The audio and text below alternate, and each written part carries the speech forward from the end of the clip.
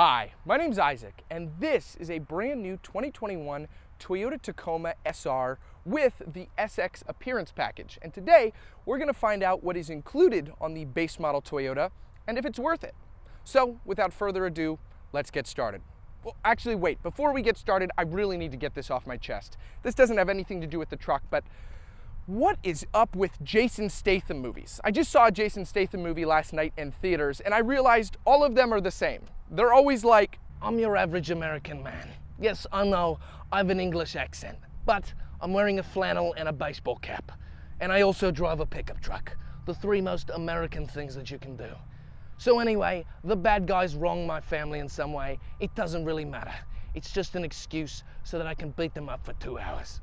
And as the movie comes to a close, in the final battle, maybe I get shot or something. And you think, oh no, maybe he's gonna die. Of course I'm not gonna die. I'm Jason Statham. Being shot with a 9mm bullet is like being hit with a sunflower seed thrown by a small child. So anyway, I get back up and I defeat the bad guy. You know, come to think of it, it doesn't even matter if the bad guy's a human.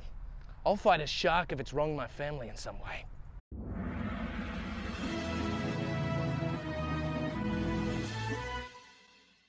Before we begin, I want to thank Koch 33 Toyota for allowing me to review this vehicle. For all your Toyota needs, you can visit Koch 33 in Easton, Pennsylvania, right off of Route 33, or at their website, koch33toyota.com. Starting out up front on the base model SR, no, I'm not going to do the Jason Statham voice the entire time. Do you know how incredibly grating this is on my throat? I practically have to go home and gargle salt water after every time I do it.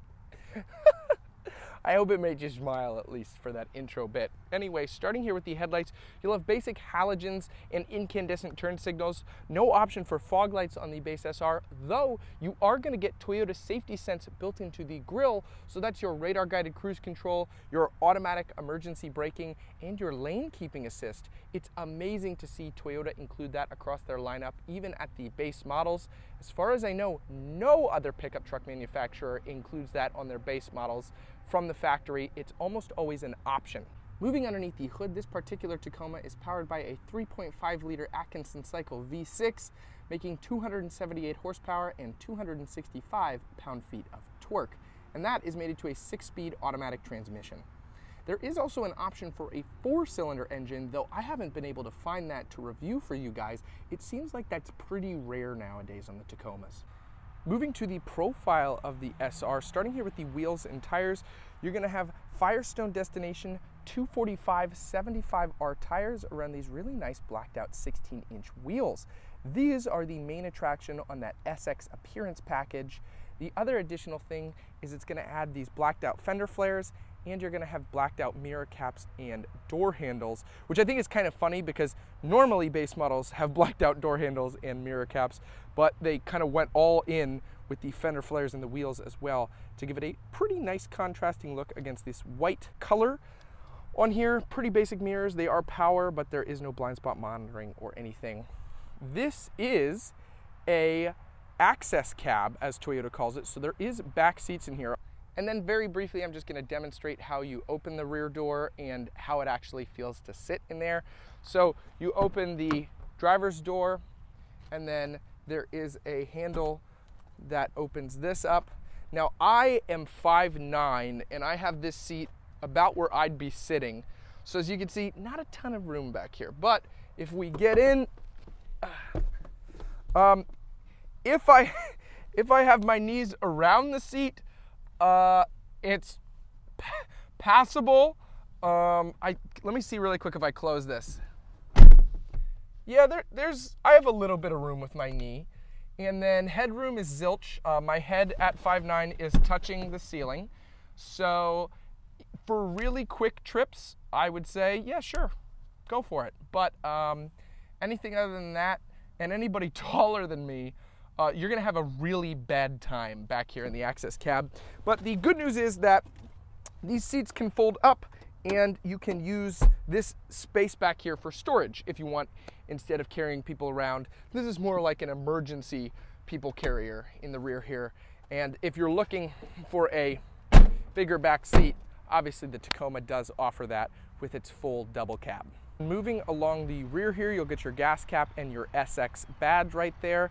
Then you will get body color bumpers, which is weird that the SR has it, but the SR5, the next trim up, has chrome ones. I actually deleted those on my own truck because I did not like them. I prefer the body color ones. And then if we move here to the handle, it says Toyota in it, and you'll also get your backup camera integrated in there and a key. And then I do also really like how it says Toyota down here, and you'll get your 4x4 badge. Then opening it up, it is a dampened tailgate, and that enters us into this six foot bed wrapped in a composite uh, bed. It's not a bed liner, it's actually the bed itself. So it's like a fiberglass material and it's hopefully going to hold up a lot longer than a traditional bed would with a drop-in bed liner or a spray-in. Thus far, I've had my truck for two years and it's held up really, really well. Barely any chipping or scratching on it. I love it. And then you're also gonna get a little cubby down here for storage, which is nice to see. Only on one side though, unfortunately. Though you are gonna get rails for tie downs, so you can clamp them on there and slide them along the railing, which is really nice. And then there's spots for two by fours you can put in the bed right there to support some stuff. I really like that.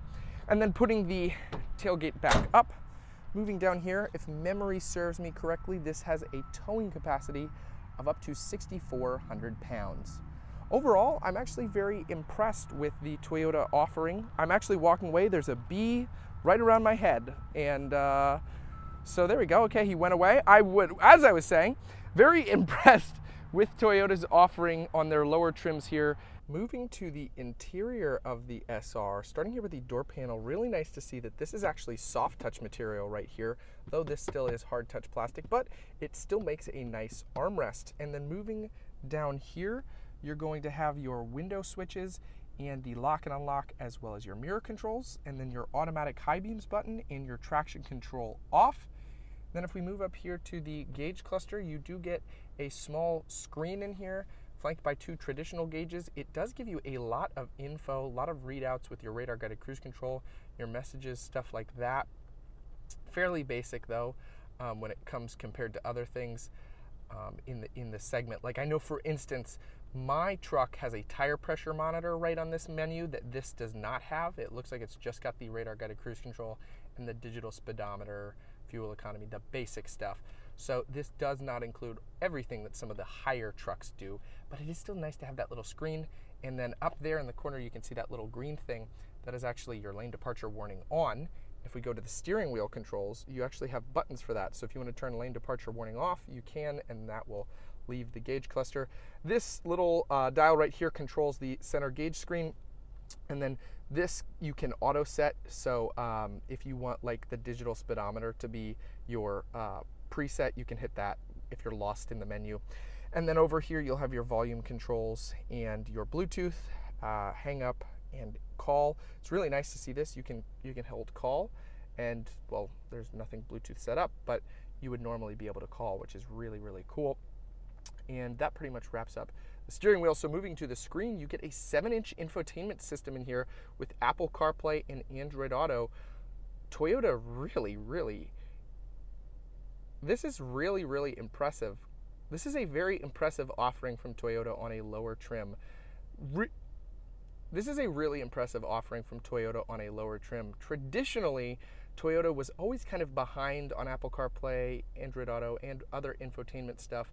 But in this case, they have started to include larger screens with more technology, even on their lower trims. So that's always nice to see. This screen is a tiny little bit laggy, but overall, the performance is pretty good. Um, and I'm just thankful that it even includes a screen like this.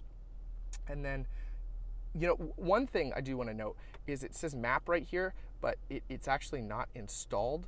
Um, so you actually, I think, have to get navigation from Toyota, which is an upcharge, uh, even though the button is included on here. So that's one disappointing thing. Uh, I did want to point out that it is not included uh, from the factory with them. Moving a little bit below that, you'll have your climate control screen right there and your dual zone climate control, which is really nice. Dual zone climate control in a base model truck.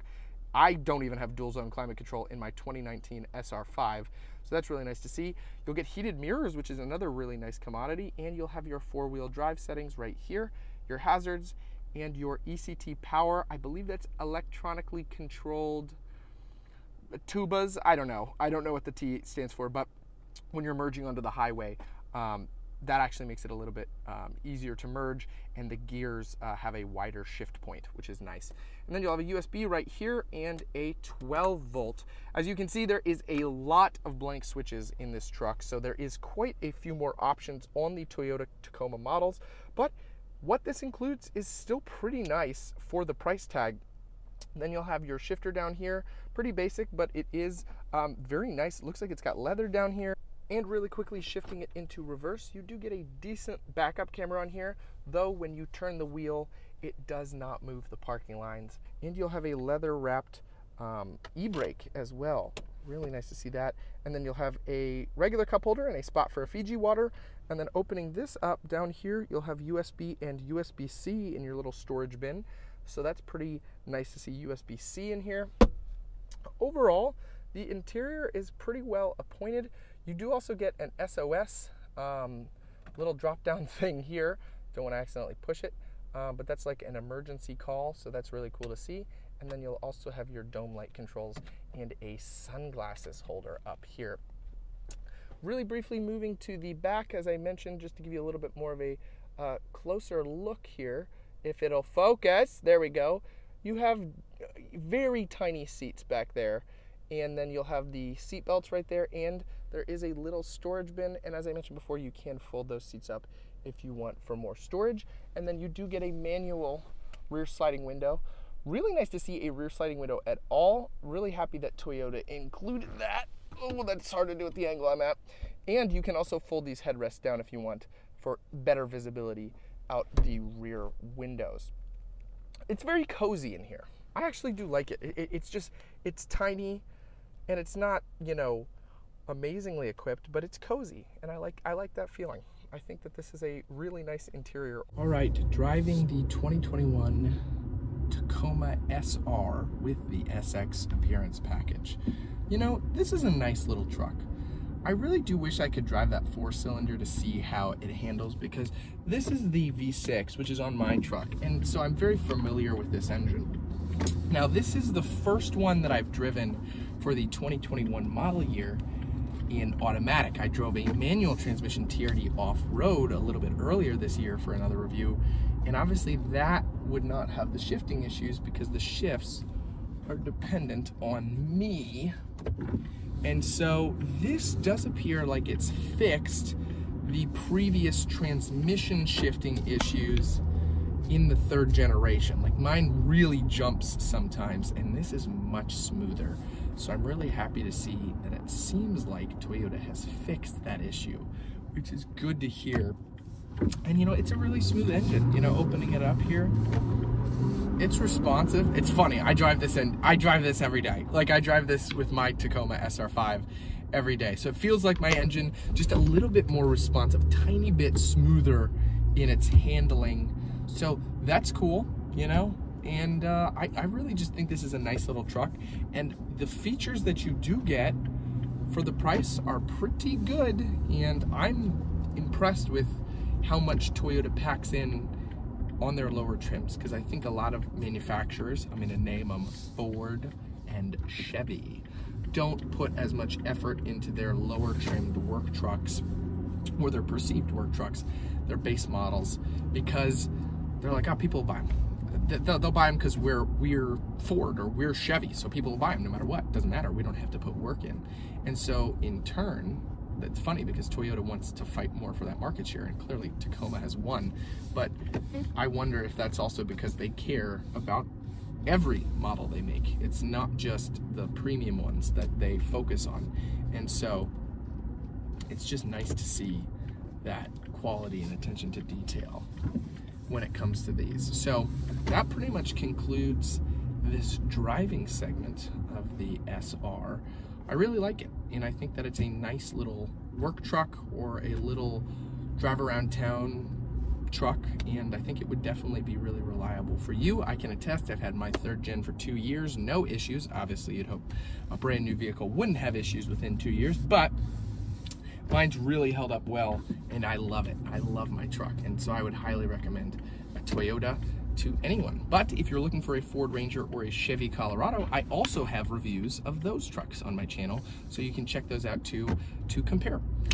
So that's going to conclude this video. Thank you guys so much for watching. If you could like and subscribe, that would really help my channel out quite a bit. And I am a Christian, so if you have any prayer requests, you can leave those in the comments below. Lastly, I like to do a weekly Bible verse. So here that is. And with that, as always, guys, no matter what vehicle you drive, I hope it lasts you a long time and it serves you well. I'll see you next time.